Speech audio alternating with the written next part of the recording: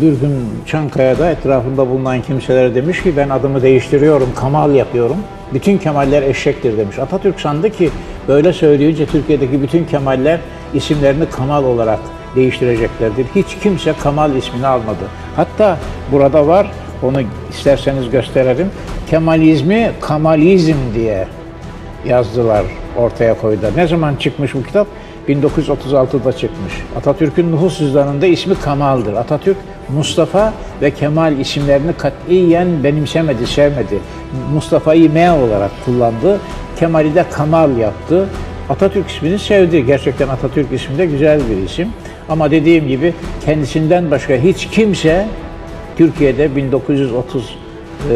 1934-35 yılından bugüne kadar Kamal ismini almadı. Ne demek Kamal? Kemal varken Kamal'a gerek var mı? Peki bundan da vazgeçmedi mi? Yani ölünceye Hayır. kadar Kamal mı kaldı? Ölünceye kadar Kamal kaldı. Atatürk'ün nüfus cüzdanında ismi Kamal'dır. Ve Atatürk gerçekten bütün Kemalleri eşeklikle suçlamıştır. Düşünebiliyor musunuz? Yahya Kemal eşek, Behçet Kemal eşek, Namık Kemal eşek. Kim eşek değil?